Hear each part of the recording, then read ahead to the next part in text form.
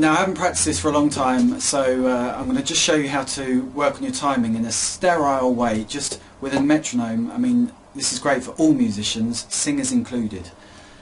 It'll improve your overall timing and uh, there'll be multiple benefits but it's very difficult and boring and tedious and clinical but stick with it.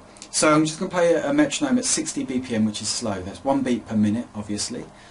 Speeding it up actually makes it easier. The slower the tempo, you may want to go down to 50 as you improve. The slower the tempo, the more your internal metronome has to uh, account for, you know, the gap. So let me just play the metronome now.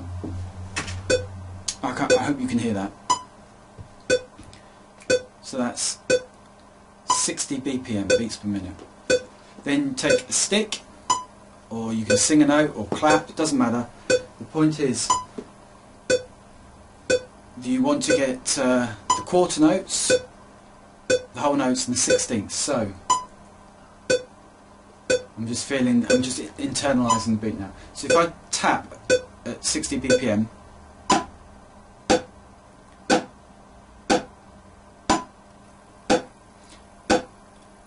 and when I feel that I'm bang on the beat, to the point where I can't even hear the click because it's it's so perfectly in time, then I want to double up.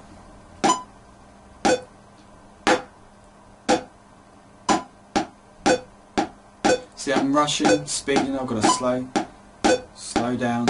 I'm just going to show you, I'm just literally hitting my diary. Doesn't matter what you use. It takes a lot of concentration and practice. And then I might come back down to the quarter notes. Terrible. I feel a bit pressured being in front of the camera actually to be honest. okay. Then sixteens.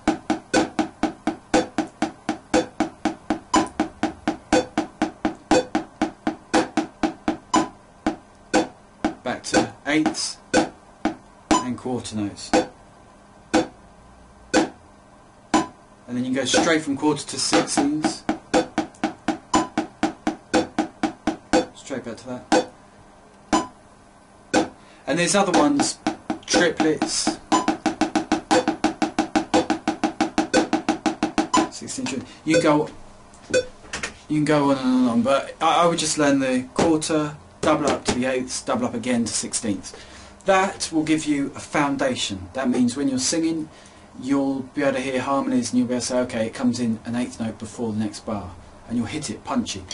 Um, even if, don't worry about the, the terminology, sixteenths, eighths. I'm not going to go into that, it doesn't matter. Just, if you practice hitting with the metronome and be really disciplined, don't, don't change, don't double up until you're really matching that beat perfectly.